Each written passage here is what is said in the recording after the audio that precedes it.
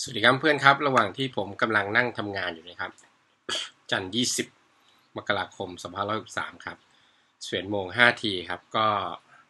แวบเข้ามาเห็นทวิตเตอร์คุณเทพไทยเสนพงศ์ครับทวิตเตอร์คุณเทพไทยเสนพงศ์เมื่อหนึ่งชั่วโมงที่แล้วครับ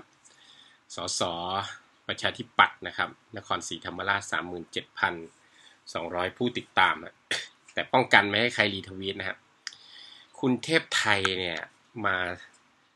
มาช่วยคุณกรตั้งชื่อพักนะครับ แต่ไม่รู้เข้ารหัสอะไรไว้หรือเปล่านะครับ ลองมาอ่านกันดูนะฮะผมจะช่วยคุณกรตั้งชื่อพักด้วยคน ใช้ชื่อว่าพักไทยเข้มแข็ง เพราะไม่มีสามคำต้องใช้คำว่าประชา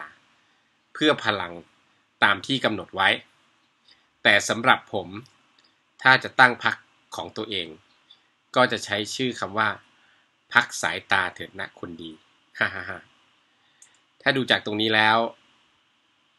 แฟนรายการช่อง YouTube ชิปทำคำพิเศษ